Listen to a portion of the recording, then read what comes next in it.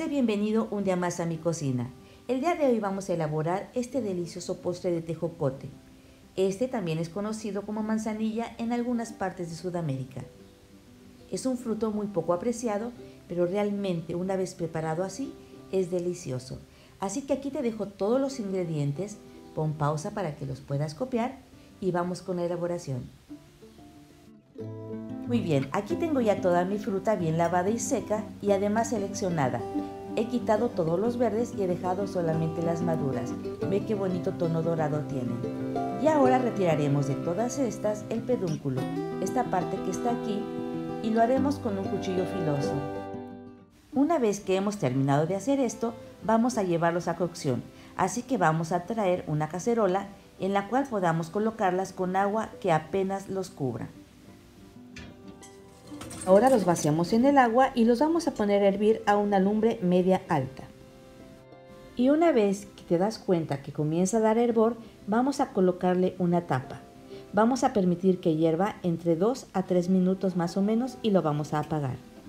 Y ahora es tiempo de acercar un bol con agua helada y con hielos. Esto nos va a ayudar a pelar perfectamente bien estos tejocotes y que la piel se desprenda muy fácilmente. Vamos ahora a permitir que la fruta descanse un poco en esta agua helada, aproximadamente un minuto.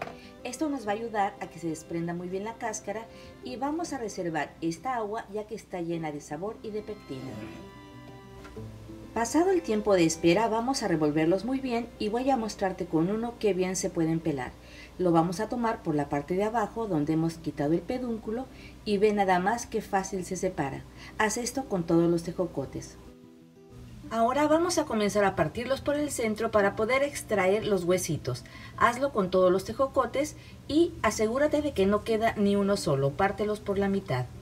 Una vez hecho esto, vamos a regresarlos al agua que habíamos reservado y los pondremos a hervir por aproximadamente 5 minutos.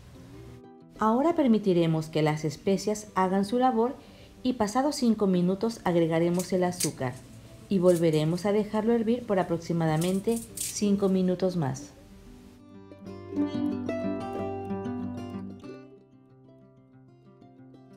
Una vez que ha comenzado a hervir el azúcar, va a formarse una pequeña capa blanca o una espuma. Esta retírala, permítele que terminen de pasar los 5 minutos de hervor y estamos listos para apagarlos.